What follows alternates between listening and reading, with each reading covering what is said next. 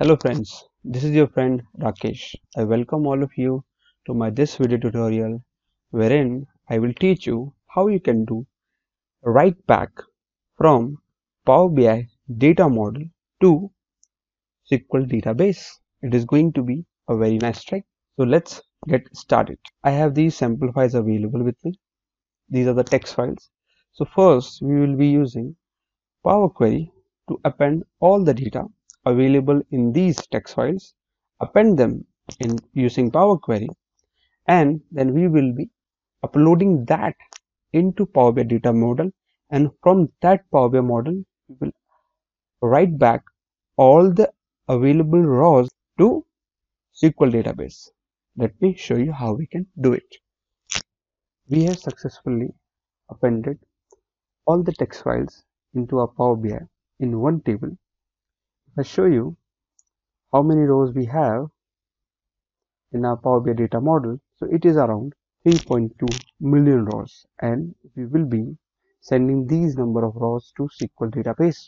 Let me show you how we can send or write back these number of rows from Power BI data model to SQL database.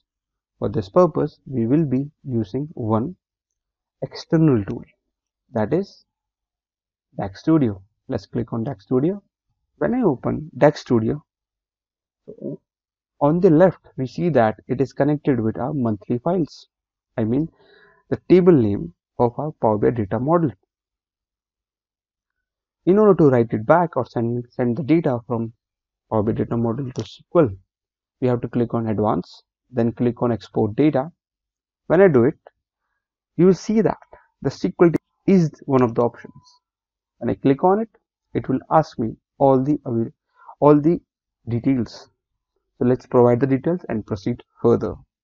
Here I have provided the server name and database. I am using Windows authentication so no password or username is required. Schema let it be DBO I do not want to truncate so remove it.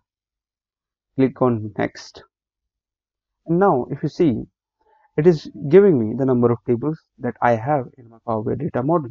So let it be as is. There is no hidden tables. So just untick this option. And this is going to be the name of the table in SQL database. Let me show you that I do not have a table name monthly files. So see, this is my table. Let me refresh this first. This is under Northwind so once I refresh, you will see that I do not have a table named monthly files. Let's go back to DAX Studio and now I will click on the export. When I hit on export, you will see that it is writing or sending all the available rows in my Power BI data model to SQL database. Let's wait till it's complete the sending back to the SQL.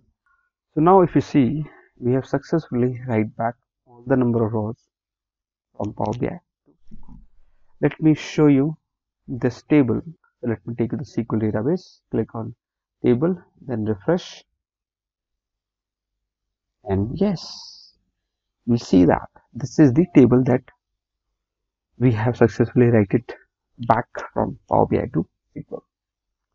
Let me write select simply account star and then from let's click on execute and you see that this count is matching with count the number of rows that we have successfully right right back from BI to SQL.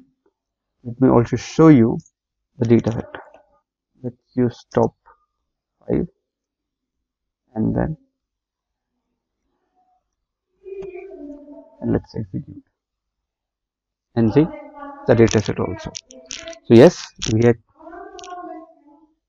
with this we have successfully write back all the number of rows available in Power BI data model to SQL table.